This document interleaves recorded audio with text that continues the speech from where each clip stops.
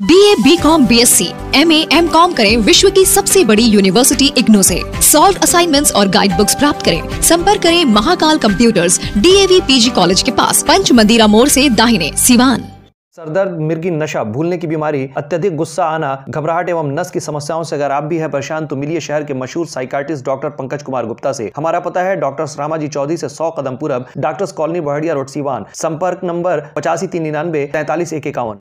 नमस्कार, मैं हूँ आपके साथ पूर्वी राय और आप देख रहे हैं न्यूज़ इंडिया तक। गुठनी प्रखंड के सुहागरा पंचायत के बिशुनपुरा निवासी सीआरपीएफ के जवान राकेश कुमार का तिरंगा में लिपटा पार्थिव शरीर। गाँव पहुँचते ही स्वजनों के रोने से माहौल गमगीन हो गया। वहीं बलिदानी का अंतिम दर्शन के लिए लोगों की भीड़ उमड़ पड़ी। बताया जाता है कि बलिदानी राकेश कुमार छत्तीसगढ़ के सुकमा में एएसआई पद पर कार्यरत थे। दो दिन पूर्व वे ड्यूटी से लौटकर बैडमिंटन खेल रहे थे। इस दौरान वे अचानक गिर गए। इस दौरान उनके साथियों ने इलाज के लिए अस्पताल ले गए, जहाँ चिकित्सक द्वारा मृत घोषित कर दिया गया। उनके साथियों ने घटना की सूचना उनके स्वजनों को दी। मुजफ्फरपुर से सीआरपीएफ अधिकारी अमृत कुमार सिंह के नेतृत्व बलिदानी का पार्थिव शरीर सोमवार को लेकर उनके गाँव विशनपुरा लाया गया। बलिदानी का पार्थिव शरीर गाँव पहुँचते ही स्वजनों के रोने से माहौल गमगीन हो गया। वहीं बलिदानी के अंतिम दर्शन के लिए लोगों की भीड़ उमड़ पड़ी। इस दौरान गाँव के युवक भारत माता की जय वंदे मातरम, राकेश कुमार अमर रहे के नारे लगा रहे थे। इस दौरान मुजफ्फरपुर से अधिकारी अमृत कुमार सिंह ने बलिदानी के पार्थिव शरीर को सम्मान के साथ स्वजनों को सौंपा। इस मौके पर थाना अध्यक्ष राम बालक यादव, सीओ शंभुनाथ राम भी मौजूद थे।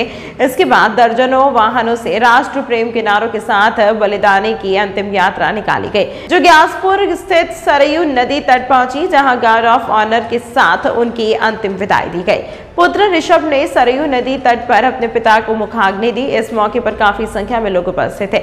बताया जाता है कि बलिदानी के पिता इंडियन नेवी के सेवानिवृत्त सीपीओ सूर्य नारायण थे। राकेश कुमार ने 2016 में सीआरपीएफ की नौकरी ज्वाइन किया था और वर्तमान में छत्तीसगढ़ के सुकमा कैंप में तैनात थे।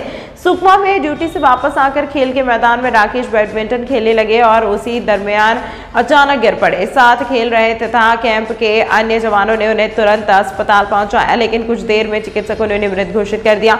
राकेश की दो संतान है, इसमें नौ वर्षीय पुत्र अंशिका कुमारी तथा सात वर्ष का पुत्र ऋषभ है। वहीं पत्नी अलका और माता पानमती देवी समेत अन्य स्वजनों का रो रो कर बुरा हाल है। अंतिम संस्कार के मौके पर थाना अध्यक्ष राम बालक यादव, क्षेत्रीय मुखिया रणजीत कुशवाहा, सरपंच विजयपाल सहित कई अन्य लोगों, उन्हें उनके ताबूत पर माल्यार्पण कर श्रद्धांजलि दी।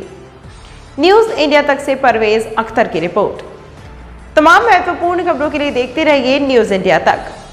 अब आपके शहर सिवान में सफदरजंग हॉस्पिटल, दिल्ली के मशहूर surgeon doctor M D Muzammil, general and laparoscopic surgeon M B B S, D N B, general surgery Delhi Lakhi Chand hospital में अपनी सेवाएँ दे रहे हैं। लखी चंद हॉस्पिटल में 21 जनवरी से सेवाएँ चालू है।